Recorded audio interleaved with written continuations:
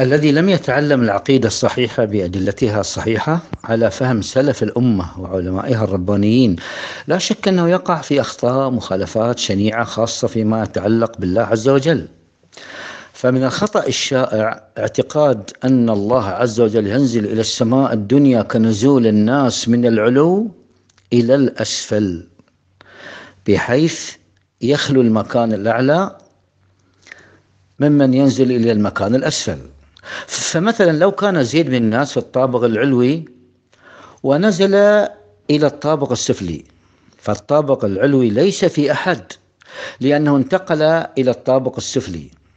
مثل هذا لا يقال في الله جل جلاله حال نزوله إلى السماء الدنيا تعالى الله عن ذلك علوا كبيرا. لأننا إذا قلنا مثل هذا وقعنا في مخالفتين. الأولى شبهنا الخالق بالمخلوق.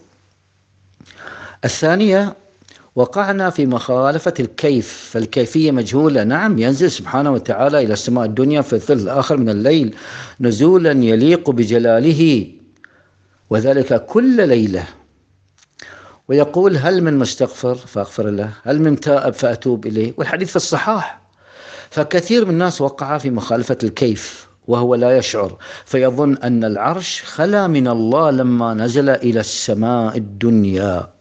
وهذا غلط فاحش. لذا لما سئل الإمام مالك رحمه الله عن استواء الله على عرشه قال السواء معلوم والكيف مجهول والإيمان به واجب والسؤال عنه بدعة.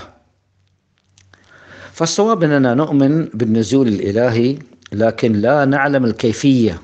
فالكيف مجهول. فنثبت النزول بلا تكييف. وبلا تعطيل أو تأويل فنقول ليس كمثله شيء وهو السميع البصير. هذه قاعدة في التعامل مع الصفات. الخلاصة فالنزول ثابت والكيفية مجهولة والتشبيه ممنوع.